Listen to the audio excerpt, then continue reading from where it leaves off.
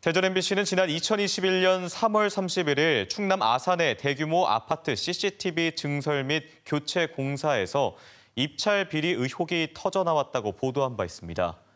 그러나 아산경찰서 수사 결과 위 아파트의 입주자 대표회의 대표는 CCTV 증설과 교차, 교체 공사에 대한 입찰 방해 및 업무상 배임 등 위 내용에 대해서 지난 3월 7일 무혐의 처분을 받았음을 알려드립니다.